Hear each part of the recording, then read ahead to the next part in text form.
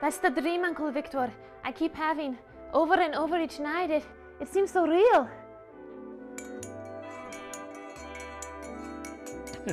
Well, well, Anne, I'd say that's one overactive imagination you have. It seems so real, Uncle Victor. I wake screaming. I, I don't know the man next to me, but I feel I've done great harm to a stranger. Some people in the old country believe in their dreams. They think they may give us insight into our true selves.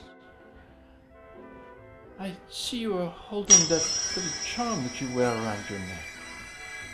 The, the man dead in the bed next to me has been shot in the chest. Oh, yes, it gives me comfort. I've uh, worn that old charm for as long as I can remember. Did you receive it as a gift from my mother in the Ukraine be- before you came to, uh, to live with your, your aunt and me? Yes, I did.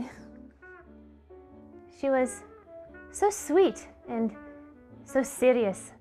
I remember her as a sweet, loving grandmama and a strange little gypsy woman. Yes, mother, she was both a loving and a strange woman. Growing up in that household was uh, sometimes difficult. remember, she used to have little charms everywhere. She used to say, each has a purpose, each has a place. As children, we played around these and broke one, a small set of matryoshkas. we thought she was going to kill us. I remember her saying that.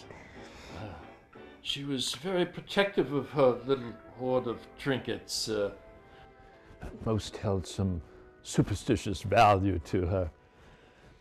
To my brother and me, they were just things tempting for us to hold, but far out of reach, much like mother.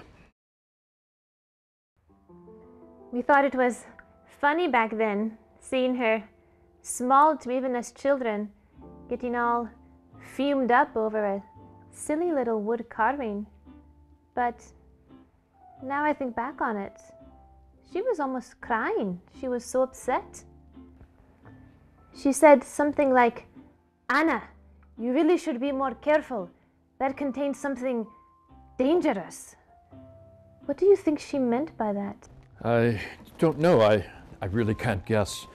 Uh, she never shared all of her beliefs with me.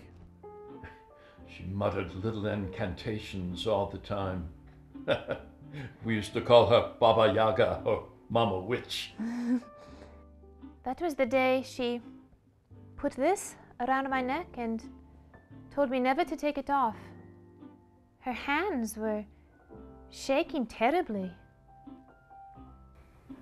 She had very unusual ways. uh. Now that I look back on it, I'm sure she was crazy. Uh, She would start to read from her ancient books on stars and animals and things and uh, not even know we were there. It, it, it felt at times as if she didn't see us at all.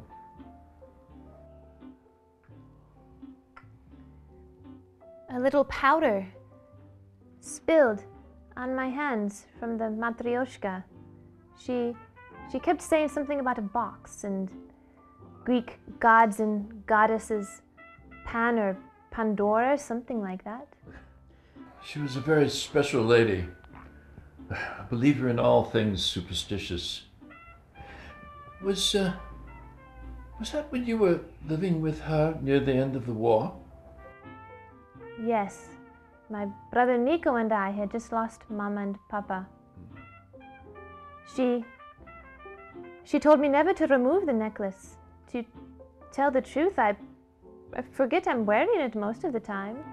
I've never taken it off once, all these years, until last week. Really? All these years? Why did you take it off? It fell off right as I was getting on the subway. And there was a man dressed all in black.